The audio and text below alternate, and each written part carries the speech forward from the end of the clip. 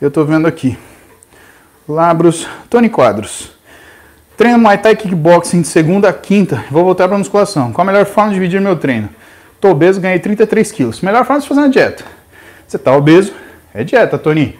Já falamos sobre isso. Eu e você já conversamos aqui, né?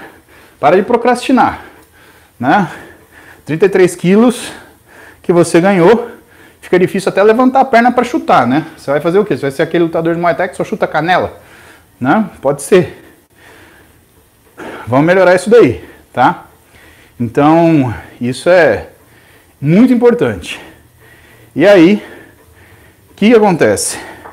Se o teu objetivo for luta, musculação e luta depois.